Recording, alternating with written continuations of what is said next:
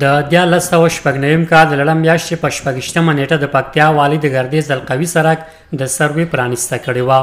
او ویلي و چې په درې میاشتې کې به د سروې بشپړېدو سره سم به د دې لوی پروژې کارونه پیل شي خو له هغه راهیسې د کلونو په تېرېدو نه یې ویل چې د یاد سرک عملي چارې نه دي پیل شوي بلکې له د یوې برخې سروې هم نیمګړې پاتې ده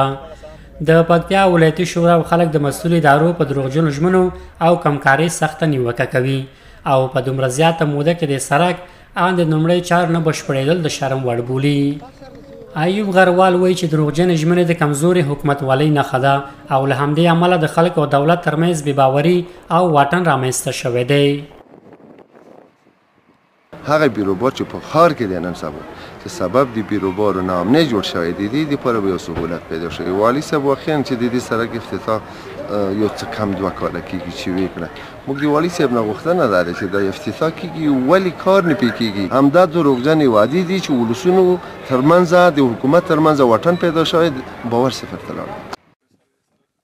مدني فعال بلال معروف وایي چې اړوند ادارې باید د پروژې تر پرانیستو مخکې د هغه د عملي کولو لپاره بودیجه منظور او تدابیر ونیسي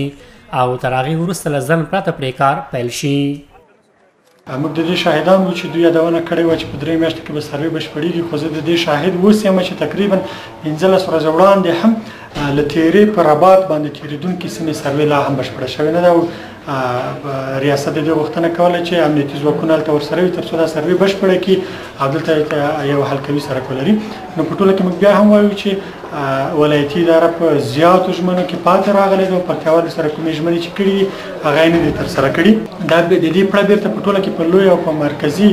حکومت باندې اچول کېږي د پکتیا والي شهیم خان کټوازی بیا وایي چې هغه مهال یو ویز سرک د سروي پرانیسته کړې وه چې دوه برخې بشپړې شوي او د یوې برخې کارونه لا هم د ځینو امنیتي ستونزو له امله پر ځای پاتې دي کټوازي ویل چې د سلويخ تر شپېتو متر سول لرونکي شاوخوا سلويخ کیلومتر القوي سرک لپاره بودیجه شته خو له دریو برخو څخه یوازې د یوې هغې ډیزاین یې بشپړ شوی او د تدارکاتو مرکزي کمیسیون کې تر کال لاندې ده مګر سروي پیل کړ په هغه وخت کې او سروي لنې کمرغه د درې پازه باندې سرک ته تقسیم شوی دی چې دا ډیر لوی سرک ته تسلوي کیلومترو پورې ده بنا بودیجه ټوله ورته موجوده او د اول پاز چې ولس کلومتره ده البته دا ولس کلومتره په شپېته متره سور کې ډېر لوی سرک ده د هغه لپاره بودیجه او ټول کار خلاص او بودیجه د ټول سرک لپاره اماده ده هغه اعلان ته ځي په همدغو ورځو د ګردې ځلقوي سرک د هغه پنځو پروژو له ډلې دی چې د چارو پرانیستی شوی خو د میاشتو او کلونو په تېرېدو لا هم عملي کارونه یې نه دي پیل شوي.